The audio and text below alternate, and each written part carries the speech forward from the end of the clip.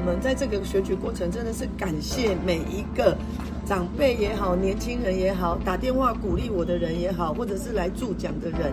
昨天很感慨的说：“蔡培慧何德何能？我也就是一个平凡的人，我就是想要为家乡好好做事。”所以，我真的是感谢每一个人。